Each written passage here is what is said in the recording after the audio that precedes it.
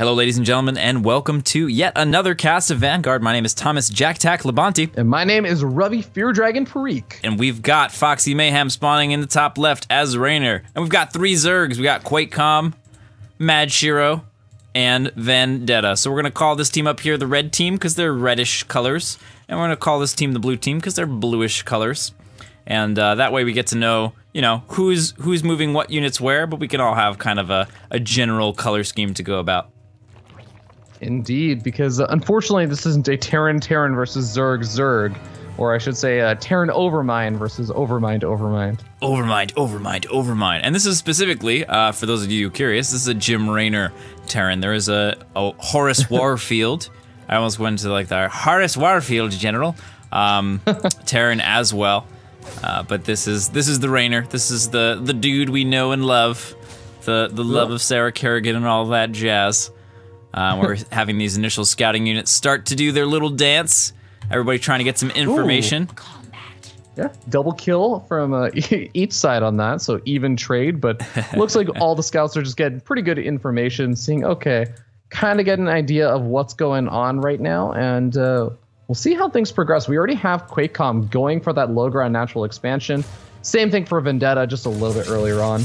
Yep, yeah, really early expansion there from Vendetta, and actually, and this got scouted too. Foxy Mayhem went fast double gas, uh, and still no expansion out. So, uh, I mean, blue team should be relatively suspicious about what's about to go down. Yeah, we'll see what they end up going for. Uh, for now, just transferring their workers around, getting over to the natural expansion. Got Vendetta goes to a spawning pool and cancels it, and reconsiders, decides to go for the gas geysers instead. Yep. Will he go for Will he go for a spawning pool next, or is he gonna go Hydra Den? That's one of the things about this game. Uh, For the Zerg, you can go spawning pool or Hydra Den, and both of them lead you to a lair. Um, so you can choose range units or melee in the early game if you like. Amazing, you can get up anti-air technology without having to go from the very, very basic ground level. Yeah, it's it's pretty sweet, man. It feels like Brood War. It's I'm not gonna lie, it's one of my favorite parts about the game. I've always prayed for a uh, for a swap between the. Wait a minute, wait a minute, wait a minute. What we were talking about tangents earlier. We can't because there's too much stuff going on. There's a building building in the center bottom area, and it's orange. Oh my god, we got a proxy starport. JaKaTaK, I do a lot of StarCraft 2, and let me tell you something, proxy StarCrafts never lead to anything good. No, They always definitely lead not. to mischief. Yeah, and we're certainly going to see some mischief over here. Uh, looks like uh, Mad Shiro uh, taking the center of the map, very admiral, but very solid over here. And he's actually going to scout uh, an SCV coming in this direction. Maybe it will lead him to the proxy, potentially. Yeah, uh, if he is not able to kill that SCV, I think the SCV. He turned around! Oh, oh, that's actually really interesting. I, Oh no! The SCV was to- totally trapped either way, anyways. And we have three Oh. Banshees moving across over into the absolutely non-defended hatchery first double Evo chamber vendetta. Oh my god, this Oh. is a massacre. There is a Hydralisk Den, so Vendetta can start to make some Hydras right now, but he's definitely losing quite a bit of the economy. The Hydralisk Den is going to get focus fire down. Vendetta needs to make some form of anti-air. I- He's, morphing making, in queens. Queens? Oh, Queens. Is that really going to be enough? Oh no, I, I no, definitely not. Queens are significantly weaker in this game than they are in StarCraft 2. Uh, he had the supply there to build Hydralisk, but chose to build Queens instead, and then got two uh, two supply block basically to build any Hydralisks at all. Now he's beginning to lose his gas economy. His worker line is absolutely shredded to pieces. This is absolutely awful for Team Blue. But in the meantime, we do have Mad Shiro out on the map, getting things done, or attempting to get things done with Zerglings, keeping the other, the yellow player at bay. Uh, while this base gets hollowed out by Foxy Mayhem. Just really great play, uh, taking advantage of the greedy opener from Vendetta. Yeah, this is going to be a really, really rough game, I think, for Vendetta. Uh, as he's going to be losing that main base hatchery potentially. The Banshees continue to do more and more damage. More Banshees getting rallied in, and Mad Shiro really just uh, he's got the Nydus Destroyer, which does attack air as well as those queens, so he can defend his own base against the Banshee, but not so much as uh, teammates. Oh man, and look at this. Uh, Vendetta's actually going to get 1 1 finish, so he's got 1 1 queens Hey! now. Good job. Very nice. Wow. Well played. Well done. Um, do buildings actually start dying off of creep? Uh, yes, they do. Yes, they do. Okay, well, one of those evolution chambers is not long for this world then. Oh, Oh, and God, this this second. Oh my God, this is. I mean, oh, what what do you even 300 minerals a minute compared to the you know 1,000 minerals a minute for for most other people uh, in the game right now, trying So, to hang on. JaKaTaK, here's the thing. I'm an optimist, and the way that I like to think is that if my teammate, this is a, a generally a true thing in a lot of RTS games, is that if you're, oh my God, Banshee's taking a lot of damage, and uh, okay, looks like one of them ends up falling. The other ones are going to be very low in health. But if my teammate is dying slowly, that gives me more space. And uh, I know you've been playing a little bit of Dota in the past, and that's what you like to say is when you die. You just say, I was creating space for my teammates. That's right. Oh, space created. That's my favorite emote in Dota. But we live run by right over here, trying to. Oh my God, under 50 hit points for this hatchery. Mad Shiro staying on top of the harassment, and on the other side, uh, it looks like Foxy Mayhem is beginning to mix in Vikings into the composition. So, despite the fact that we have Mad Shiro making that anti-air, making those mutalisks to deal with this threat and try to help his uh, ally get back on his feet.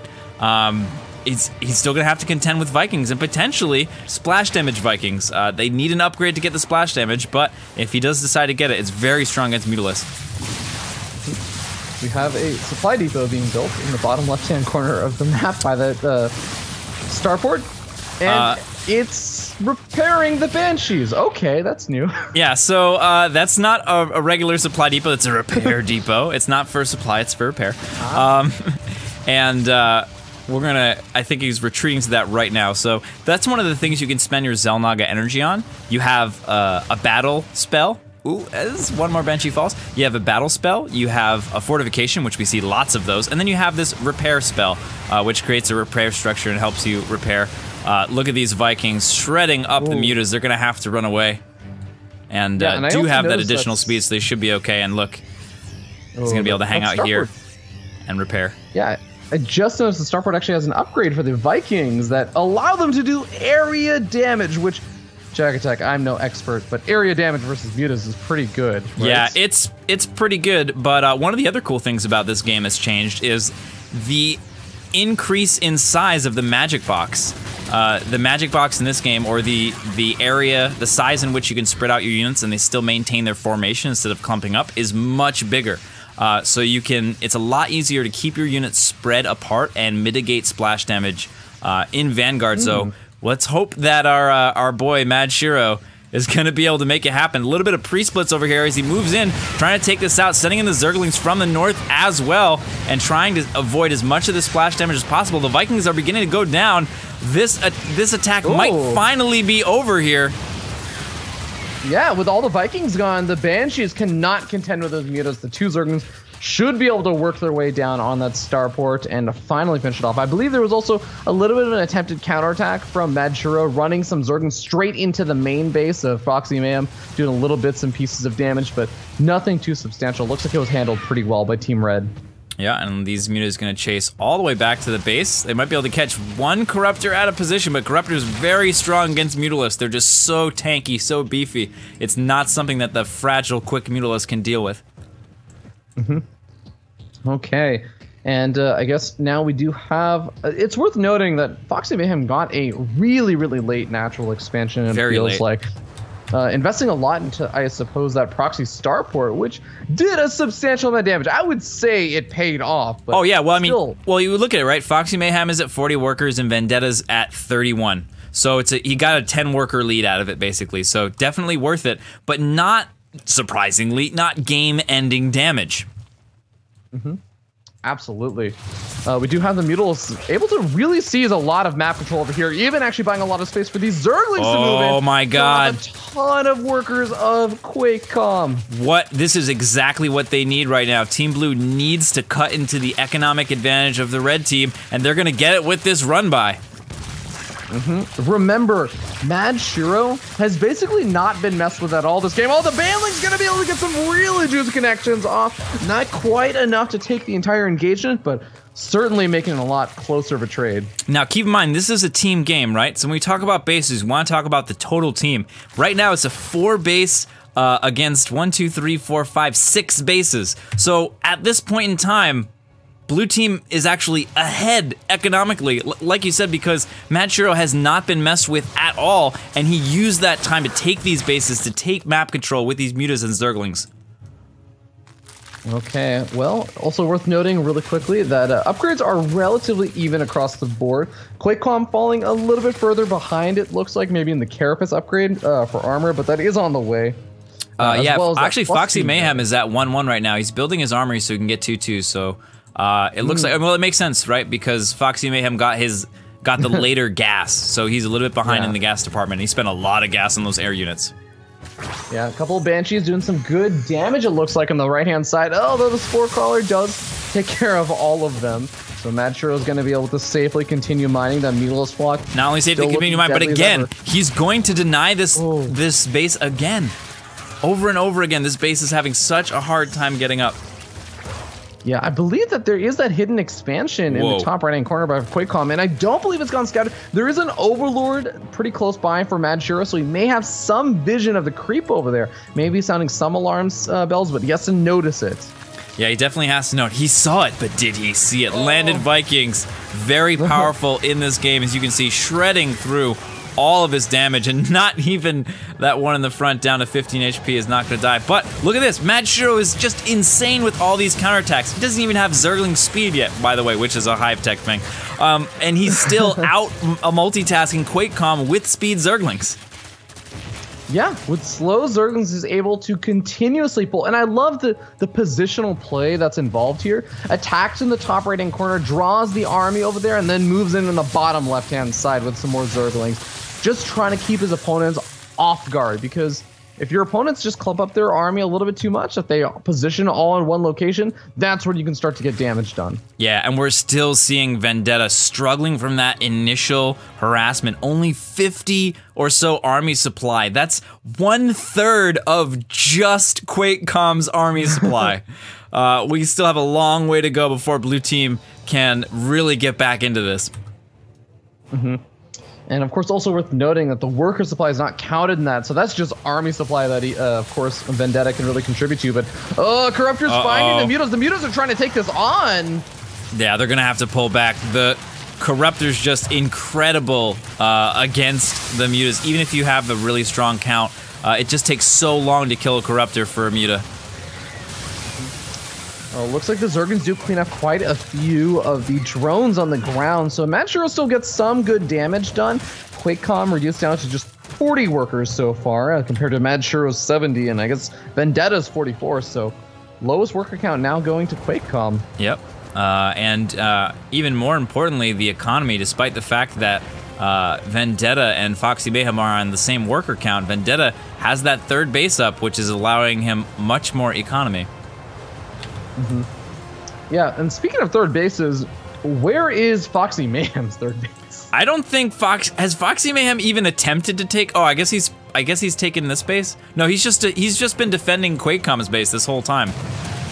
Another you know run by. Oh, look at this. Both directions. He's coming with the mutas on the right side, the lings on the left. He's guaranteed some damage as the entire red team army moves all the way to the left, leaving this base completely exposed.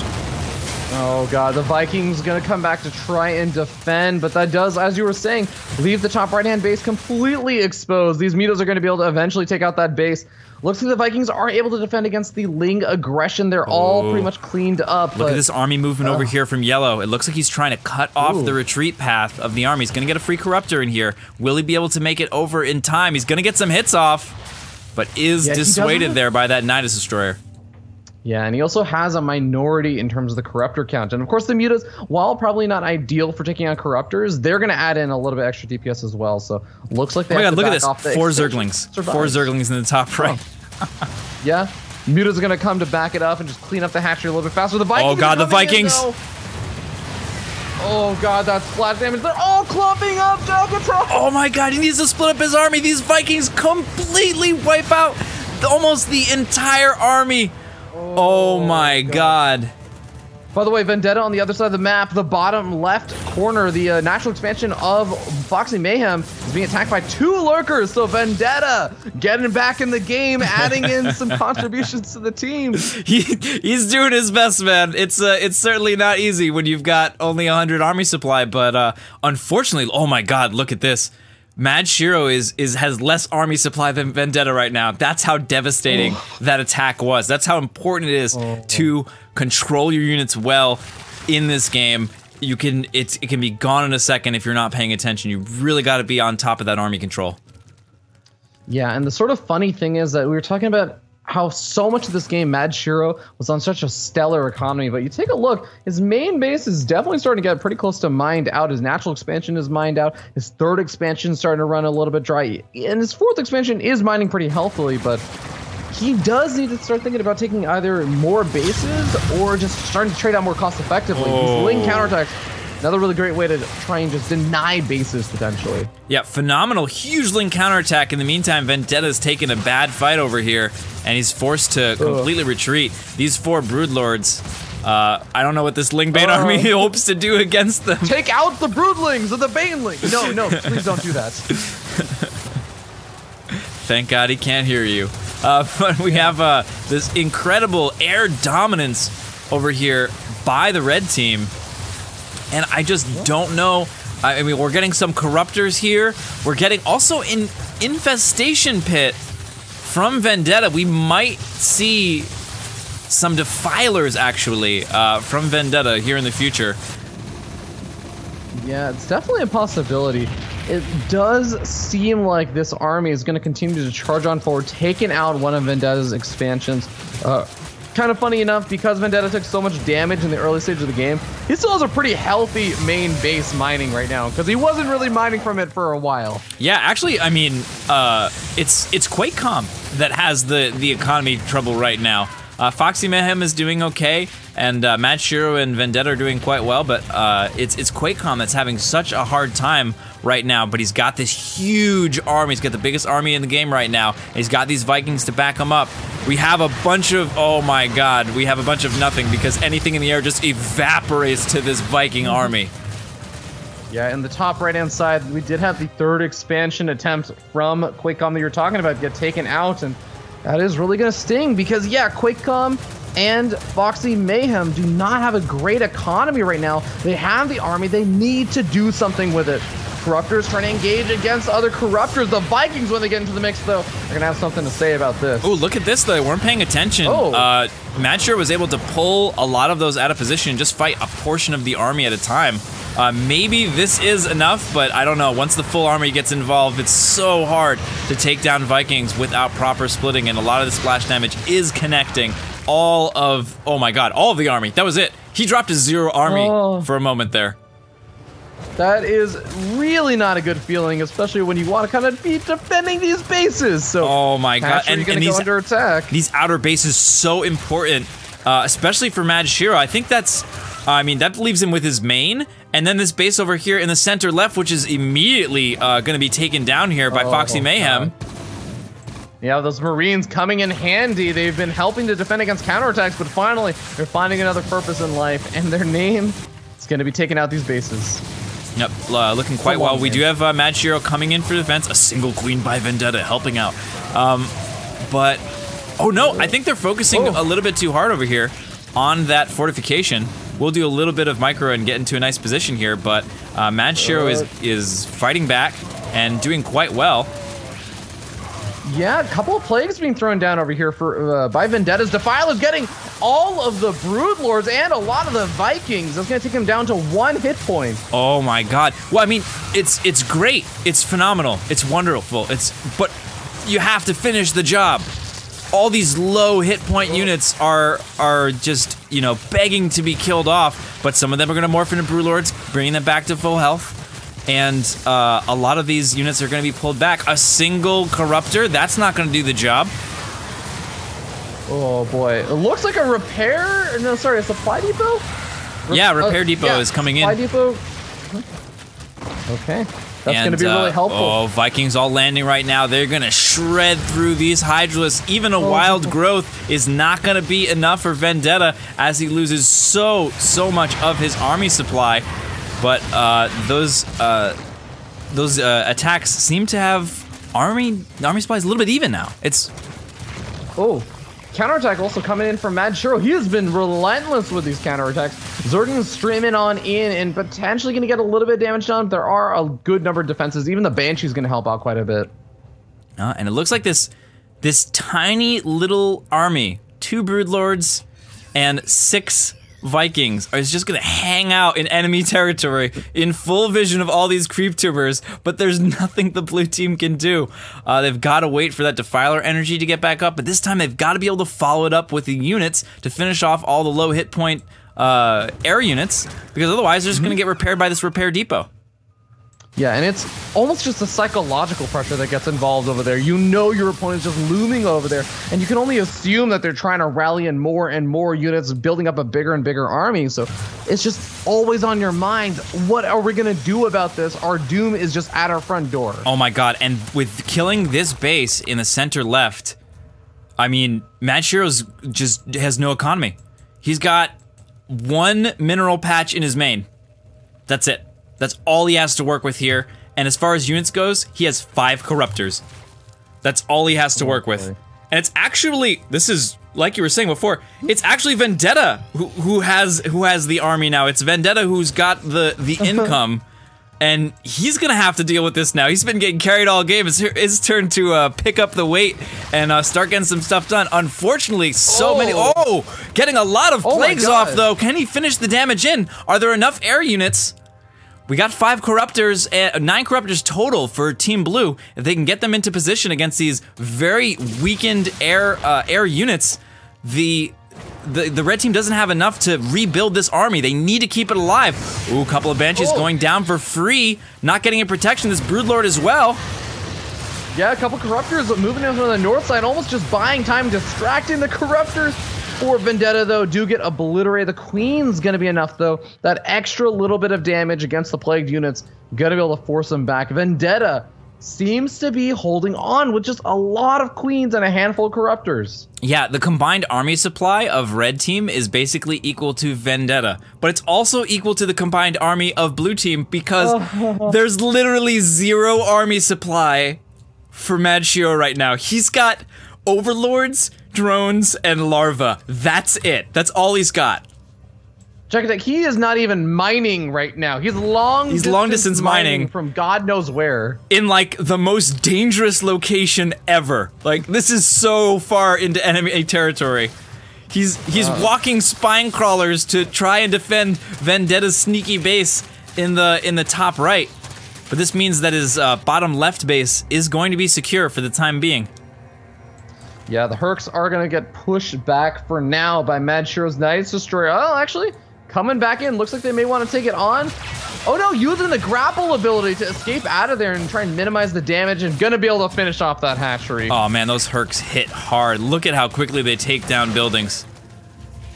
Perfect oh, unit for that kind of a situation. Really nice decision there by Foxy Mayhem.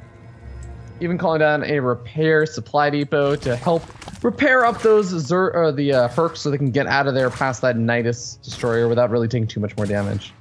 Yeah, we are seeing Broodlords start to enter play here. We've got one, and uh, we have these uh, these two Zergs going for that Corruptor Broodlord composition that is uh, so common in the late game. In uh, for for pretty much all of Zerg right now, it's it's more or less the way to go at the moment. And oh my, look at all these drones long distance mining. This is crazy. I mean, take a look at the take a look at the income graph, JaKaTaK. If you take a look at that, Oh my you'll see that pretty much everybody except for Vendetta is nearly dead broke. He's Vendetta's so happy that it, that he got his entire mineral line obliterated in the early game because right now Yeah. he's the only one with economy left. And it's mostly his main base, but that is going to be running out soon. A lot of these patches only have around 50 to 75 minerals left Oh over. Oh man, we are really getting close to the end here. It's all about these remaining bases. You can't afford to be throwing away units like this. Foxy Mayhem giving away a couple of Marines for free when you don't have the money to replenish. It's so critical to keep your units alive. Uh, Mad Shiro participating with his drones because that's all he has to participate with. And it kind of works out. He cleans up some of those Marines a little bit more cost effectively. And Vendetta. Oh, the Vikings are coming in. 200 supply. Ooh. He's gonna run in over Oh, here. He's going to He's drop, but he doesn't see the Broodlords. They come in at the last moment. This is a huge mistake. Some plagues are probably gonna come in. There they are. The plagues come in, and I think that's it. There's there's almost nothing left for red team to do anything. Oh my god. Foxy Hay Mayhem falling down to 42 supply. GG's get called. And it looks like the blue team, Mad Shiro and Vendetta, the tag team, pull it out in the end. Oh my god, incredible. Neither neither Vendetta nor Mad Shiro were were they were never powerful at the same time. They just passed the torch. Vendetta had nothing to do the entire game at, uh, except for play catch up until the moment where Mad Shiro lost his power and like the graph swapped and Mad Shiro had nothing and Vendetta had to carry it. Well, you know what? They are truly a match made in heaven, JaKaTaK, because if you can't handle me at my worst, you can't you don't deserve me at my best. And that's, That's pretty much the pairing right here. Both of those players carried their teammates at their worst. In their worst situation when Vendetta had nothing in his main base. It was getting obliterated by Banshees. Mad Shiro carried him that game. And you know what? Vendetta repaid the favor because when Mad Shiro had zero mining and zero army supply on the map, literally fighting with drones, Vendetta cleaned up and took the game. Wow. Uh, we're going to leave it at that because that metaphor is literally too perfect. Thank you so much for tuning in and uh, watching this game of Vanguard. If you want to play Vanguard, you can play right now. It's free to play on the StarCraft Arcade. Thank you. Big shout out to Feardragon, who is found at Feardragon 64 on literally everything. In the same way that you can find me at JaKaTaK TV on literally, oh, okay, figuratively everything. And uh, that just about wraps it up. Thank you so much again, and uh, we'll see you next time. Stop recording.